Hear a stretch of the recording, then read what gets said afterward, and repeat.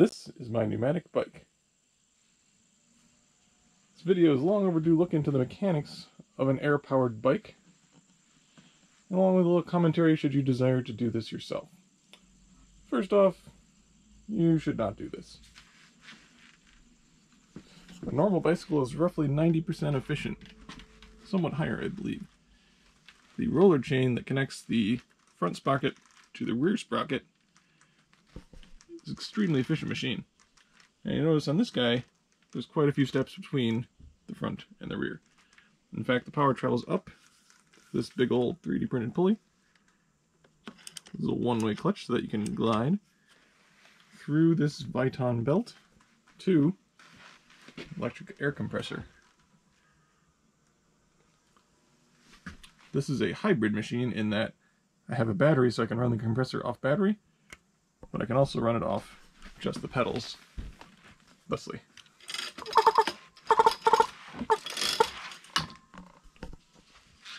Now, the compressor air outputs through this copper hose into a three gallon through this regulator to control the speed.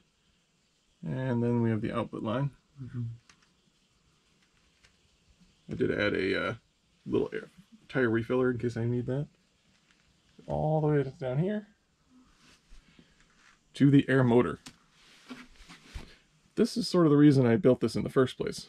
I really wanted to understand how, well, mainly hydraulics worked, and pneumatics are at least similar, while being a lot less expensive. This whole motor ran about $200 in parts.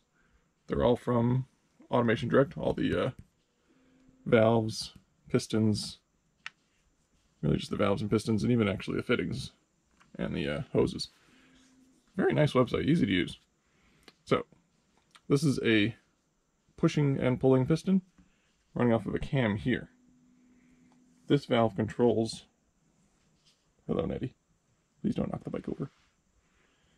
This valve controls this valve, which controls which side of the cylinder is pressurized and which side is exhausting. So this is the pilot that's running off of here. That's shuffling a cylinder inside here back and forth, powering this side. So pressure in here and exhaust out here. And then when the cylinder, or when this loses power, a spring pops it back, putting pressure to here and exhausting out this side. Exhaust is the front and rear. We collect both of those again. You can see there into there. And as an added safety, this is another part of the control system of the bike. When this is closed, there's no exhaust, therefore the bike does not go.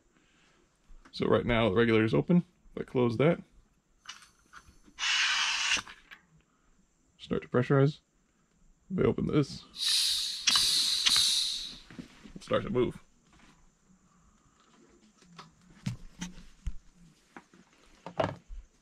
So the biggest part about this was, can you do it? 3D printed cam, offset. Oh, and you'll notice this is a nice square arrangement here. I did that so I can line these up, and these are 90 degrees out of phase. So at any given point, one of these is pushing on the top, the other will be um, sort of uh, dead center, where it can neither push nor pull. Alright, take this guy outside, go for a spin. So you can see the bike does work. However, I am not able to pedal fast enough to keep it moving steady state. Which is why this is a hybrid, and not just a pneumatic bicycle.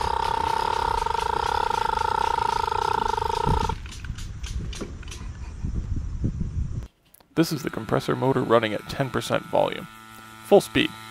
You can see it uh, puts a lot of air in the tank and makes the bike work really well.